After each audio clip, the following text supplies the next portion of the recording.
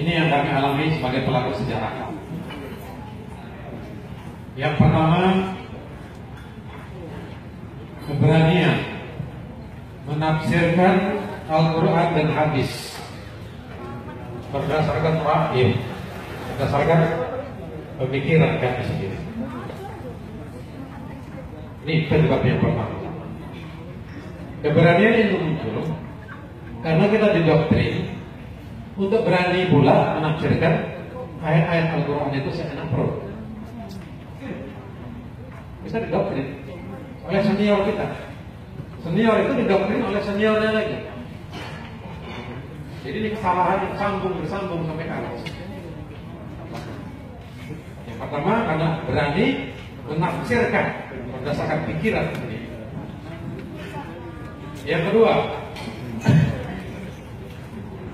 seseorang itu menjadi teroris.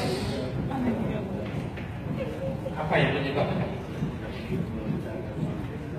Apa yang dirasakan? Apa yang mendorong? Yang kedua, paham takfiri. Takfiri ini mudah mengkafirkan. Mengkafirkan bukan hanya orang-orang non-muslim, tetapi juga sesama muslim yang di luar dari mereka. Jadi kafir. Jadi takfir ini mengkafirkan bukan hanya orang-orang yang non-muslim, tetapi juga orang-orang muslim yang di luar dari kalangan mereka. Itu penyebab yang kedua. Penyebab yang ketiga.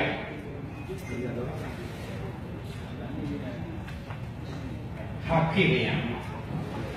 Hakimiyah ini mudah menuduh, mudah menghakimi. Misalnya, polisi, tentara,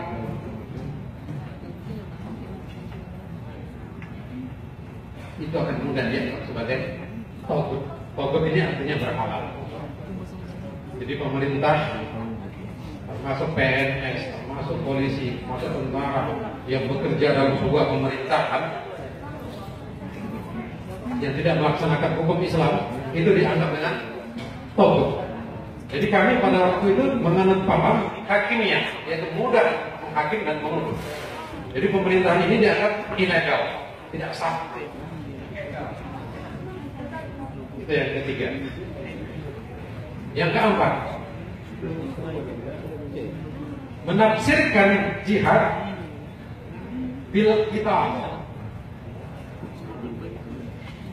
Pokoknya semua ayat-ayat tentang jihad di dalam Al-Quran ataupun perintah tentang jihad haruslah dengan perang. Dan anak-anak muda, kalangan muda, ya, mudah menerima ide-ide kekerasan. Jadi heran kalau kekerasan memang banyak dilakukan oleh kalangan muda. Itu yang keempat. Yang kelima, resistensi terhadap pemerintahan yang kita menolak, tolak belakang. Itulah lima penyebab asas. Kenapa seseorang itu, ini yang saya alami sebagai pelaku sejarah.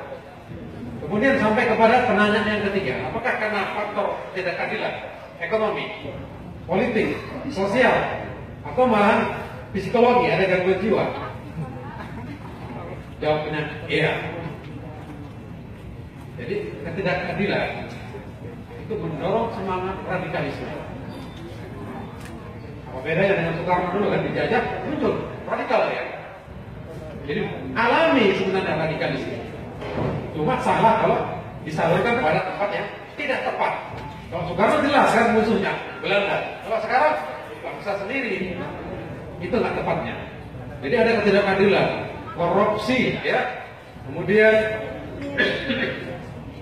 kesenjangan ekonomi. Yang kaya terlalu kaya menikmati kekayaan Indonesia ini. Yang miskin terlalu miskin. Agama dalam hal ini Islam menjadi justifikasi membenarkan tindakan radikal itu tadi. Jadi pada mulanya iya karena faktor ekonomi sosial dan lain sebagainya. Kemudian ada ayat-ayat yang bisa membenarkan tindakan radikal itu tadi. Saya kira itu jawaban dari saya ya.